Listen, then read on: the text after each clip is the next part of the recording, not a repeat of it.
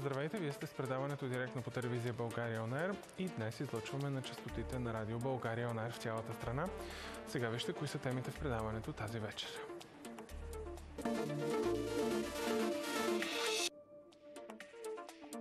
Директори на болници заговориха за фалити на лечебни заведения, ако цените на клиничните пътеки не бъдат увеличени с повече от 25 на 100, както е заложено в Националния рамков договор. И още, ще успеят ли държавните антикризисни мерки да спасят българската економика?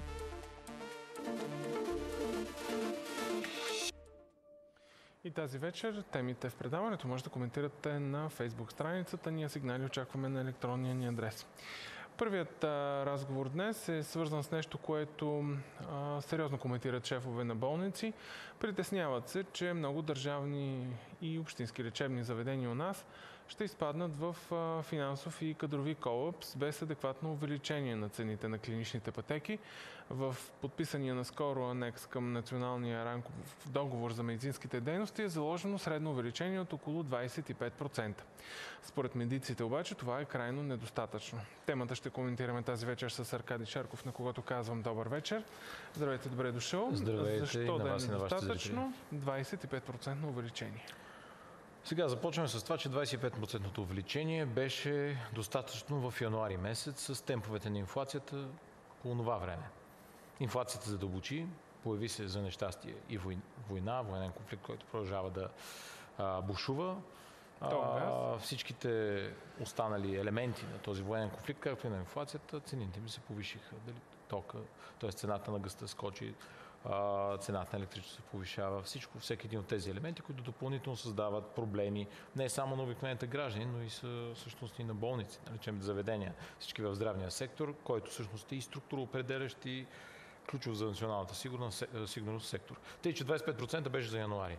В момента, ако искаме средно увеличение, то трябва да бъде нали, съответно добре разписано и в добри актуерски разчети.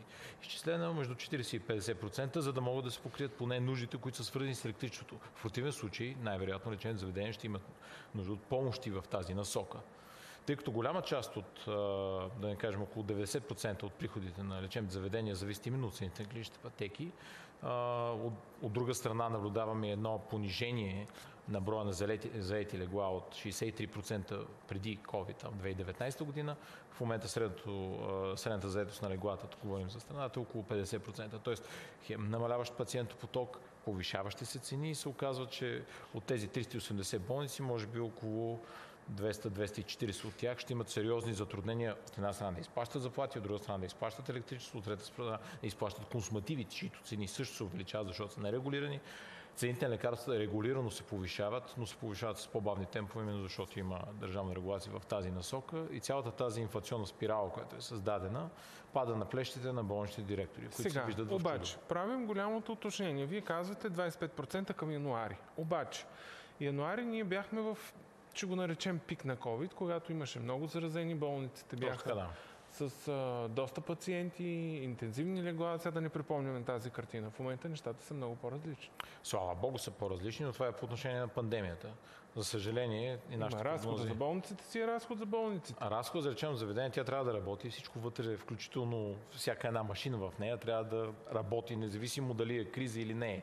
Когато говорим за цени на електричество, излизайки извън този нали, сегмент COVID, където наистина бяха с високо напрежение в лечебни заведения, говорим за така наречените ефектите на пост-ковида, именно всичките тези нелекувани заболявания през този период, който наблюдавахме от две години, забавено лечение, неходене в лечебни заведения, а, така се каже, повишен, стадии на заболявания, стигнали до по-висок стадий, това автоматично се натрупва и започва в момента да изниква на преден план, както онкологични забавени, лечение на онкологични заболявания, забавено така, хипертонии, които не са лекувани, така диабети, които са недиагностицирани, което естествено пада на плещите на здравната система и се стига до, нали, до болничната помощ. А Сега... както казахме, тя е гръбнака, за съжаление, нали, тъй като така е останало и след 89-та, тя е гръбнака на здравеопазването. Нали, ако го погледнем по другия ъгъл, чисто нали, реформистко в посока на това да се балансира, защото говорим, че трябва да има и баланс.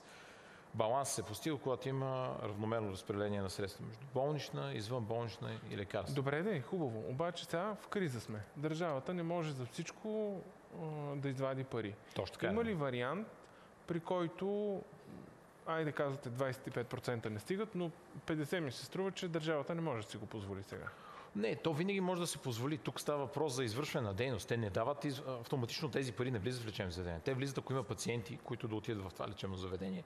Нали, наблюдавайки намаления пациентопоток и съответно така да се каже, престой на легло в болница. Това сочи, че и с намаляване на обемите на дейност, които в момента продължават да се пълни, може за сметка на обемите да се повиши цената, което повиши съответно и качеството на медицинската услуга.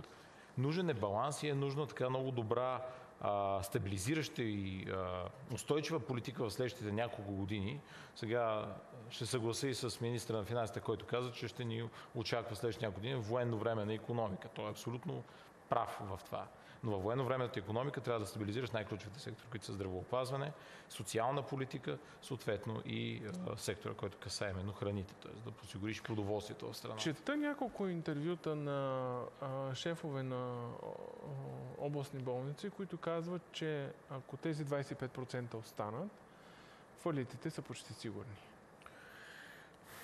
Фалитите не се случват бързо. Немалка част от болниците изпитваха затруднения, когато говорим за болниците, говорим за общинските болници, изпитваха затруднения преди COVID, по време на COVID и след COVID. Сега, а, успокоението за част от областните болници, както и за част от общинските, идва от там, че те са болници с публична а, собственост. А именно, идват общински избори, само луд, а, с извинение, нали, така го приличавам представител на някое кметство, би казал, айде сега да си затворим болницата, защото а, няма пари. И съответно политически е неизгодно подобен тип действие да бъде извършено.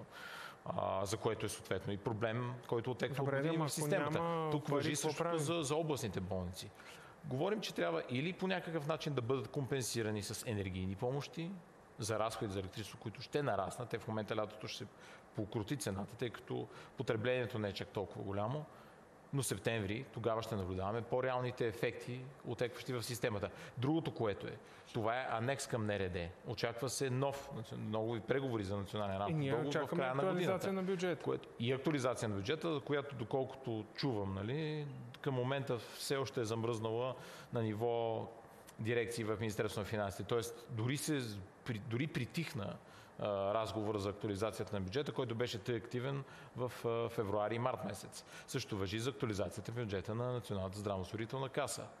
Не на последно място, когато говорим за НЗОК, нали, когато говорим за правилно разпределение и така да се каже прозрачност, вчера бе изпратено писмо от съсловните организации, както и от страна на представители на фармабранша към Националната каса с желание за повече прозрачност при взимането на решението от страна на надзорния съвет на касата, който всъщност са ключови орган, който тя, взима Тази тема винаги е била на масата под, под някаква форма. Вярно е. Вярно е. Фокуса обаче в момента трябва да е две години лекарите служиха, трудиха се за така да се каже, усилено и за българския народ. За какво беше там първа линия? Получаваха част от тях пари за първа линия, преди това по същия начин, въпреки че слава Богу не с такъв интензитет. Когато става въпрос за криза, здравеопазването сектор, който по принцип, как да го наречем, по устойчив на кризи. Защо е по-устойчив? Защото е ключова сфера, която не може да бъде подценявана и по време на криза всички изследвания сочат, че как се казва, заболяванията и смъртността от определен вид заболявания, които са социално значими, за съжаление се покачва. Дали е вследствие на стреса, вследствие на нищета, вследствие на безработица, между има и пряка корелация между социално значимите заболявания и безработицата. Така че именно за това този сектор би следвало да бъде стабилизиран и да бъде сектор, който не, нали, не е в а, а, сферата на непонятното или в стреса, както в момента наблюдаваме и шефовете на болниците, за да може оттам нататък съответно и да служи на хората. Които шефове на болници о, говорите за нещо друго сериозно, растящите цени на консумативите? Не само консумативите, всичко, на, на всичко цената нараства. При консумативите е по-видимо, защото е нерегулирана стока. И когато е нерегулирана, там цената е спрямо пазарните а, движения. Когато говорим за лекарства, там също нарастват цените. За лекарства без рецепта до 30% са нараствали някои от цените. А, за тези, които са с рецепта от аптека, които са незаплатени от Национална здравноосигурителна каса, между 20 и 40% има нарастване. Когато говорим за лекарства, които се заплащат по каса, немалка част също на цените на активните вещества, които се произвеждат, също се покашили и най-вероятно до края на годината също ще има изменения в а, тези стоености. Всичко това пада на плещите както на българските граждани, така и на лечебните заведения, така и на Видях- извънболничната помощ. Видях а, така доста сериозни прогнози, че ако този процент а, увеличение от 25 не тръгне нагоре, ще има масово напускане на лекари, на медицински специалисти. Възможно ли е? Едната опция е напускане, по-точно другата, най-вероятно логична опция и това, което ще се случи, е пренареждане на пазара в тази насока. Какво значи това? Човешките ресурси да отиват в едно лечебно заведение, което не може да осигури тези заплати в друго, което може да ги осигури. Което означава, че може и да се обезлюдат от към а, така да се каже, медицински специалисти някои региони или някои лечебни заведения в тези Има региони. това пак е за сметка на хората. За сметка на хората, именно защо, защото говорим за сфера, която е много деликатна. Ето защо, нали, когато се взимат решения на по-високо ниво, тогава трябва да бъдат внимателно обмислени. Тук с, нали, с риск някой да се обиди от страна на синдикатите, но те вкараха в капан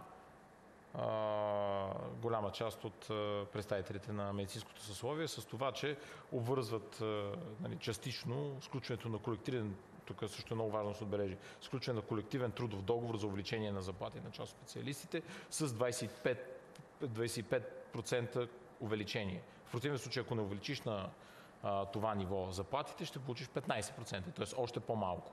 Тъй, че и това е елемент на дебата, който те първа предстои. А, индиректно по този начин самите пък синдикати успяха да си компенсират липсата на кадри в редиците, като се записват нови лица. Така, аз ви слушам внимателно какво казвате, прочетох и редица анализи, гледам какво става м- с настроенията сред работодателите, готвят големи протести, всички искат пари.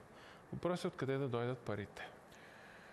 А, хубав въпрос. Нали, може би това е най-правилно да бъде зададен към министър Василев. Сега, постъпление в хазната следствие на инфлационните процеси има повишение.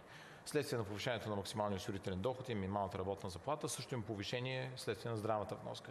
От една страна, когато говорим за пари, държавата не си изпълнява задължението. Тя кара всички останали да плащат своите 8%, но самата тя за изплаща едва 4,5% от парите за девете групи пациенти, които осигурява. Една от които и пенсионерите, т.е. групата, която е най-големия потребител на здравната система. Ако в следващите години продължи да се покачва този процент, то частично може да бъде стабилизирана тази, а, така да се каже, тази дупка. Другото е здравно неосигурените лица. Сега допълнително имаме около 100 100 хиляди горе-долу и а, прииждащи, най-вероятно с смесен статут, дали ще е беженски, дали ще е Да, временно да, за пребиваващ, украинците от, говорите. от Украина. Нали? В крайна сметка и тези, техните вноски, рано или късно, държавата или ще трябва да спре да ги плаща, или по някакъв начин ще трябва да компенсира фонда. Има около 700 хиляди здравно неосигурени лица, изключвайки нали, бежанците в тази сметка.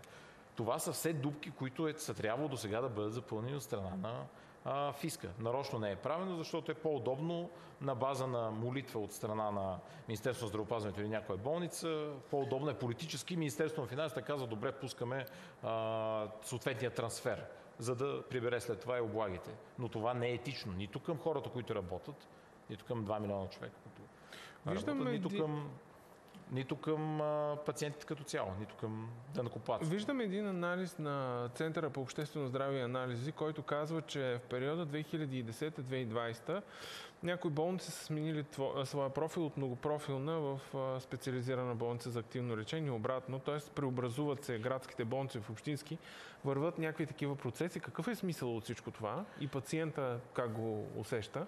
Смисъл е, че когато едно лечебно заведение не може да изпълнява множество функции, за да бъде многопрофилна, или когато намери пък конкретика, за да се превърне в специализирана, решава да го направи с цел оптимизация на ресурса, с който разполага. Пациента как Или- го разбира това? Пациента го разбира в зависимост от региона, в който е. Сега в София, Пловдив, Варна, Бургас има достатъчно лечебни заведения, които съответно могат да обгрижат големите групи пациенти. Т.е. пациенти има избор.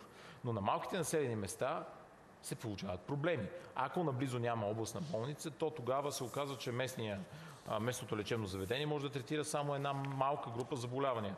Проблема е с логистиката. Той, тя, нали, окей, не може местната болница, трябва до областната. Ама като пътя е срутен, като няма ли- линейки към областната болница, т.е. като не е достатъчно бързо или съответно недостатъчно качество може да бъде превозен човека, тогава какво се получава? А иначе, за самия процес по а, преобразуване, много голяма част от общинските болници посрещнаха с радост нали, идеята за това, че държавата ще ги подпомага, ама проблемът е, че когато държавата те подпомага, го прави през уставния капитал. В момента, в който си повиши своя дял уставен капитал, тя взима и мажоритарния дял в болницата, което от общинска автоматично е прави държавна. Тоест, ако общините искат да си загубят собствеността, нека с удоволствие предадат на държавата. Но социологията сочи това, че първия, нали, първото нещо, което е едно от първите неща, които гражданите във всяка община залагат, че тя трябва да има, е лечебно заведение. Това е намигване към, а, така да се каже, бъдещите кандидат-кметове. Друг е въпросът, че множество от тези лечебни заведения имат нужда от своето преобразуване в медицински С едно изречение на финала на този разговор. Ако тези 25% останат 25%, какво ще се случи? А, ще се случат множество проблеми, които ще наблюдаваме не през лятото, а октомври месец, като най-вероятно, как се каже, невъзможност за изплащане на режийни. И в това число на заплати. Забавяне на заплати, невъзможност за изплащане на режийни. От, нали, съмнявам се да спре лечението на гражданите. Това е последната стъпка, която се случва, но много болници ще изпаднат в едни, така да се каже, пред, в предвалитно състояние. Тук е въпроса нали, държавата да се вразуми в насоката на това, че цените се покачват, след като е командно финансирана системата на здравеопазване, щеш, не щеш, нали, отговорност на държавата е тези цени да се повишат, макар и по този начин. Ако искат пазарно, то тогава би следвало да развържат възможност- възможностите на лечебни заведения. Но държавата не го прави, защото обича да има и хляба и ножа в двете ръце. Е, да, да видим как ще изглеждат а, тези тежки преговори. Струва ми се, че следващите седмици ще бъдат решаващи не само за сферата на здравеопазването, а и за още а, редица други браншове. Нещо, за което ще говорим след малко в предаването. Вижте как продължаваме.